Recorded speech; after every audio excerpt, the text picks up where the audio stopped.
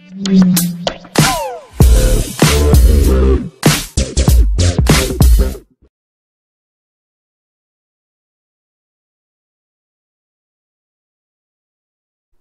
guys, I'm Doyan. Today I'm going to tell you the first Thanksgiving. The Pilgrims came to our country a long time ago. They sailed here from England. They lived near the Wampanoags. Wampanoags are Native Americans. They showed the Pilgrims how to grow food.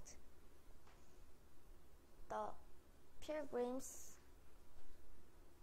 the Wampanoags, a race had a fest in the world. The Wampanoags had a fest with the Pilgrims. The Pilgrims were thankful that the Wampanoags helped them. This was the first Thanksgiving. Thank you for listening. Have a nice day.